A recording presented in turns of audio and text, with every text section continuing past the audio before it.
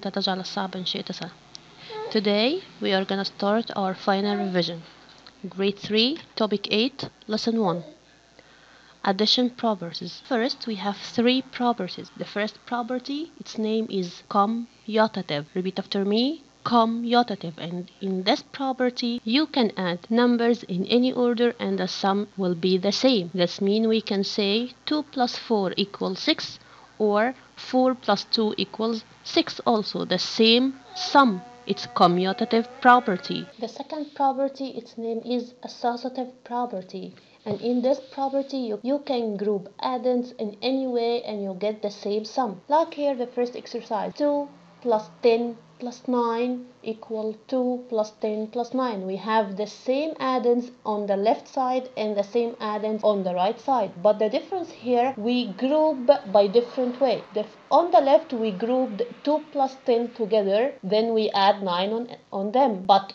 on the right side we grouped 10 plus 9 together then we add 2 on them. Let's see the answer on the left and on the right side and if it's the same or no 2 plus 10 equals 12, 12 plus 9 equals 21. On the right side, 10 plus 9 equals 19 plus 2 equals 21. We get the same answer. So here we have the same addends on the left and the right side, but we only change the place of the parentheses. The third property is identity property, zero property. And in this property, if you add any number to zero, you get the same number, like 12 plus 0 equals the same number 12. 4 plus 0 equals the same number 4 or you can use commutative property here also. 6 plus 0 equals 0 plus 6 equals the same number which is 6 so if you add any number on 0 you get the same number. Write each missing number. Look at here in this exercise, we have left side and right side. We, know, we need to know the missing number on the right side to make both of the sides are equal. Okay, look at exercise 1. We have 25 plus 14 equals what plus 25. What is the missing number makes the right side equals the left side. Look at here. We have commutative property. That means we change the order of the number. So 25 plus 14 equals 14 plus 25. Exercise 2. We have on the right side we have on the left side 33 plus what equals the same number 33 what if we add it to 33 give me the same number 33 it's 0 exercise 3 3 look at the left side. 3 plus 5 plus 8 equals 3 plus what plus 8 we have the same numbers but only we change the order of the parentheses. So here we have 3 plus 5 plus 8 equals 3 plus 5 plus 8 also.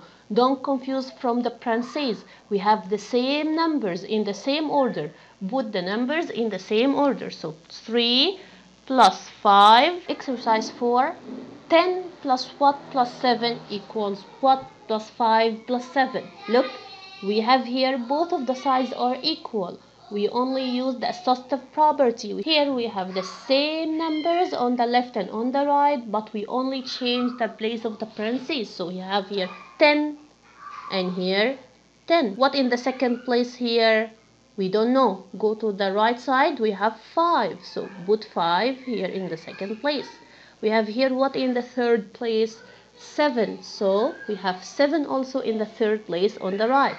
So we have 10 plus 5 plus 7 equals 10 plus 5 plus 7 only we change it the place of the parentheses.